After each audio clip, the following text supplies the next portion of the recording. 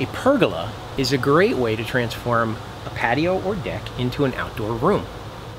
Whether you use it for aesthetics, shade, or a combination of the two, it's one of the best things you can do to improve your outdoor living.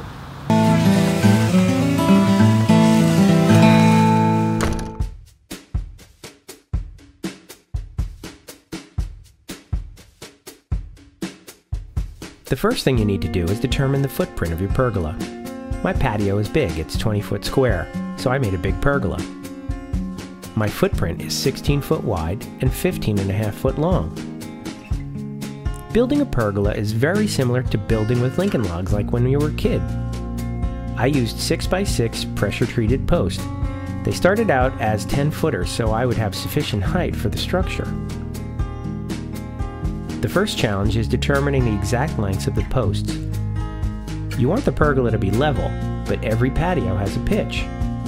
My longest post is about 3 inches longer than the shortest.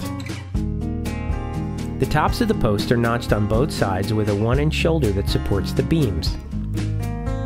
The beams are pressure treated 2 by 10 by 20 foot. I cut these fancy looking ends using a template with a 2 inch notch and a 5.5 inch radius. You need to build the post and beam structure on the ground before you muscle them upright with four or five of your closest friends. Each end consists of two beams and two 4x4 cross pieces that stiffen the structure. Next you'll install four rafters above the posts. The rafters are all pressure treated 2x8 by 20 foot long. The outer four are cut the shortest though, 18 foot 7 inches. They're notched to fit over the beams, and they have the same 5.5 inch radius detail on both ends. I used the same template to cut those too. This white pergola is actually version number 2. I didn't use pressure treated lumber the first time, and it rotted and needed to be replaced after 7 years. This small video clip shows how I used one board as a pattern to mark all the others. All these cuts were then made with a jigsaw. The four outer rafters are also attached with cross braces to lock the structure together. At this point, the hardest part is done and you can let your friends go home. Because I have a curved patio, I decided to curve the front of my pergola as well. It's a subtle curve, but a nice design detail. The center rafter is the longest, it's 19 foot 10 inches, the same length as the beams. The tough part was figuring out the lengths of the boards to form the curve, well, I'm pretty good with Excel, so I created a spreadsheet to do the calculations.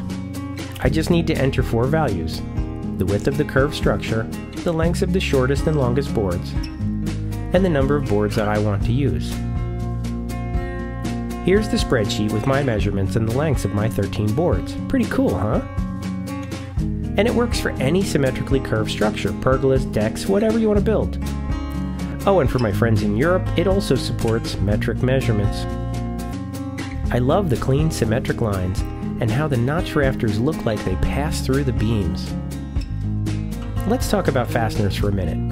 The structural parts were initially screwed and then bolted together using galvanized bolts and exterior deck screws. 3 8 inch carriage bolt, 8 inches long, the nut and washer on the other side, galvanized sure to tighten the bolts from time to time because the wood will shrink. You might ask how I attached it to the concrete, but I didn't. This thing weighs as much as a Toyota Camry, and it withstood Hurricane Sandy in 2012, so I don't think it's going anywhere. The lights around the pergola are plugged into a GFCI outlet that's controlled by a weatherproof switch on the back of the post. I ran the power line out of the basement for the lights and the outdoor ceiling fan. You really can't appreciate the lights until the sun goes down. Then they look awesome.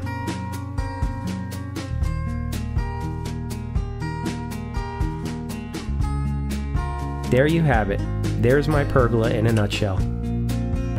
Be sure to check out these related videos and more on my website, handydad.tv.